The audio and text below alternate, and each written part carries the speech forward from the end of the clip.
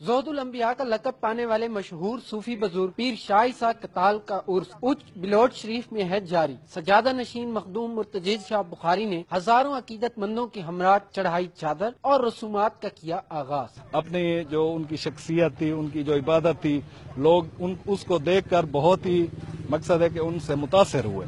और उनके दिखाए हुए रास्ते पर चलने लगे। तो ऐसा ऐसा ये लोग मुसलमान होने लग गए। पंजाब, सिंध और आज़ाद कश्मीर से आए जायरीन, जहाँ तलबगार हैं अपनी मुरादों और मन्नतों की बरावरी के, वहीं खवातीन के लिए मीना बाज़ार और बच्चों के लिए खिलौनों के स्टॉल्स, उनकी दिलचस्पी का बने हैं सामान। जबकि लंगर के साथ साथ खुश जायका और शीरीन जलेबियों की सौगात भी है मौजूद। प्रोग्राम मेरी दुनिया के लिए कैमरा मैन नईमाबाद जाफरी के साथ नुसरत हुसैन, दुनिया न्यूज़, डेरा इस्माइल खान।